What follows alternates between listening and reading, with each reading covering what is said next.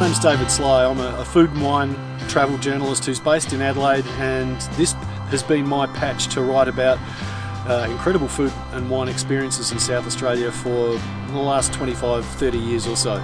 Adelaide serves as a fantastic hub for a city that's completely ringed by wine regions, and all of those are within easy striking distance.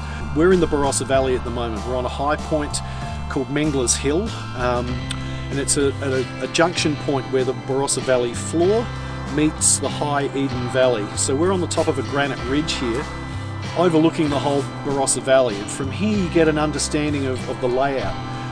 And the valley floor has got this little succession of villages that, um, that come down. There's probably eight or nine villages. Tanunda is the main town in the middle of, of the valley, but then fanning each direction there's a lot of these smaller villages.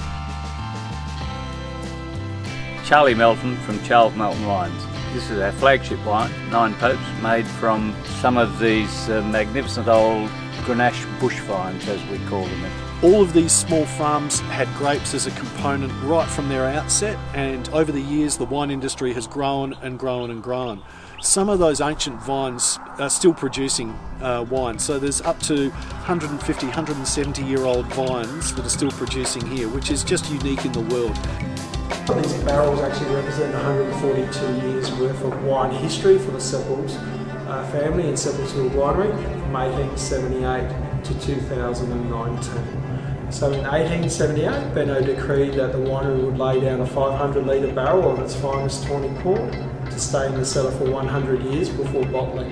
The Barossa still likes to uh, remind people that it's not a monoculture, it's not just about the grapes. It's got a very strong food culture, there's a lot of artisan food producers here, um, and you understand that close connection of this region, the land to the people to the products, and it's a very cohesive conversation. Um, the people who make the food are in direct collaboration with the people who make the wine. I'm Saskia Beer and this is the Pheasant Farm. It hosts uh, many Beer family businesses including Maggie Beer's Farm Shop, the Eatery, Duran Distillery and my business which is Saskia Beer Farm Produce. It's still our family home essentially. I mean just because other people are enjoying it and utilising it, this farm is always going to be our home and it will always stay in our family. Food and Wine Tourism Experience is trying to show that wine is the core of it, but it's not just about what you're tasting in the glass there's a bigger experience. Yeah, the gin explosion is interesting. There's botanicals from the region.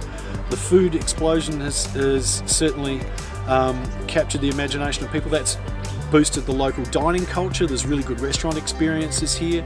There's really good boutique accommodation where you actually stay in among the, the vineyard and you get a, a feeling of what it's like to be in amongst the vines. Okay. So this cave was dug in 1916 for the purpose of growing mushrooms and then it fell into disrepair for a number of years, and now I've um, managed to reinstate it. So we're actually growing mushrooms again. About uh, six or seven days old now, and they are oyster mushrooms and ready to head upstairs to the kitchen where they'll be turned into delicious dish by our chefs. We have uh, a range of um, wines for people to taste as well as uh, a different assortment of foods on offer too. We pride ourselves in being very, very uh, conscious of the quality of the food and wine we produce in this area. It's a 30 minute expressway drive south to McLaren Vale. It's a 15 to 20 minute drive through an expressway east into the Adelaide Hills region. It's a one hour, less than a one hour drive north via another expressway to come to the Barossa to move between the city and regions that each have their own quite separate personality.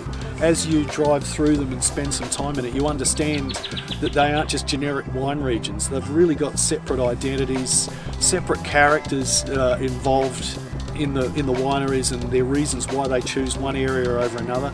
Um, it's quite a compelling story for any traveller to to actually feel by getting on the ground and um, and travelling through it.